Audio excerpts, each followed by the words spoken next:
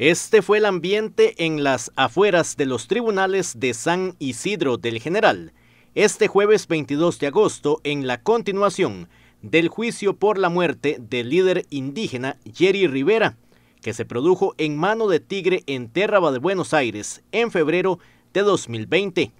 En este juicio, el imputado es un hombre de apellido Varela, que en 2023 había sido sentenciado, pero el Tribunal de Apelación de Cartago ordenó un segundo debate sobre este caso.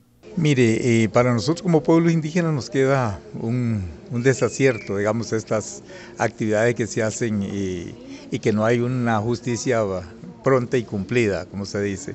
Y entonces desde ahí yo creo que este, esperamos que ahora en este segundo juicio pues eh, se culmine, que realmente los pueblos indígenas somos diferentes, hay diferencia, el Estado costarricense debe, de entender ese proceso, los jueces, la fiscalía deben entender ese proceso, que hay una diferencia de cómo nosotros miramos el desarrollo y cómo queremos vivir nosotros. Nosotros queremos vivir bien para estar bien. Dentro de esas tierras que recuperamos y esa lucha que se lleva, ese es, el significado, que esa tierra signifique eh, vida abundante para todos los costarricenses. Desde ahí entonces la lucha que llevamos y, yo por eso pido que ojalá que haya justicia con este juicio y que las cosas se, terminen y que la violencia también termine. Este es el segundo juicio que se da por el señor eh, Varelas eh, siento que no se debe hacer segundo juicio, eh, ya había pruebas, como dice la compañera, eh, ya este, él mismo declaró que él fue el, el, asesino. Y, y, siento que no debería haber segundo juicio, ni tercero ni quinto, pero no sé, el gobierno tal vez le da el chance para para 10.000 juicios solo para que continúen, no sé qué es lo que pasa, pero las no escuchan las comunidades indígenas, eh, los territorios indígenas, eh, es como que no importa para ellos las, comunidades indígenas. Igual que lo decía la compañera, no debería haber un segundo juicio. Eh, si el mismo asesino, confeso, declaró en público que él lo mató a Jerry Rivera y además declaró en público que mataría a más indígenas si se le atraviesan en el camino. Pero bueno, el juicio está porque el Tribunal de Cartago, eh, el Tribunal de Apelación de Cartago, eh, dijo que había errores de procedimiento y dejó libre al asesino eh, después de haber sido condenado hace un año aquí, en los tribunales de Pérez Celedón, cuya condena fue de 22 años y un mes.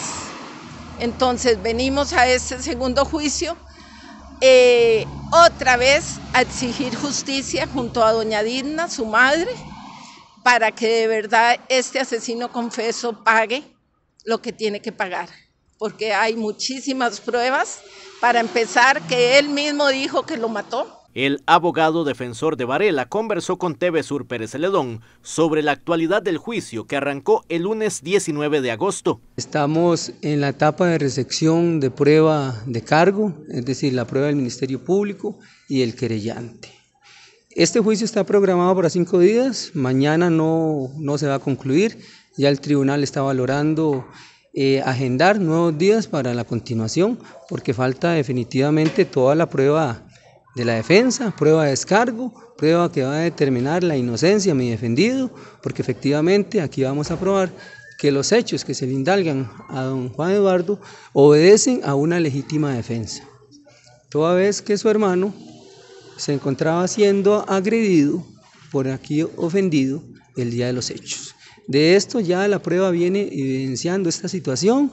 La misma mamá de don Jerry, la persona fallecida, el día de ayer mencionó que este señor Jerry se encontraba agrediendo, macheteando a el hermano de mi defendido Juan Luis Varela.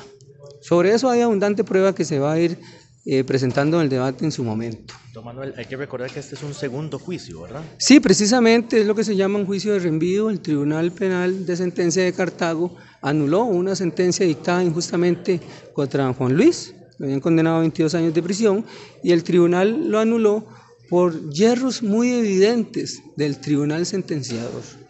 Eh, se hace notar en esa resolución que la resolución 262-2023 Tribunal de Apelación de Sentencia Penal de Cartago, sección segunda, de las 8 horas 10 minutos del 17 de julio de 2023, que efectivamente el tribunal dejó de analizar objetivamente y correctamente la prueba que favorecía a Juan Eduardo, es decir, al acusado. Prueba relevante que si se hubiera analizado correctamente, como lo impone el derecho, hubiera dado una absolutoria por una causa justificación contenida en el artículo 28, 28 del Código Penal, propiamente la legítima defensa. Este juicio se tramita en el auditorio de los Tribunales de Justicia en San Isidro del General.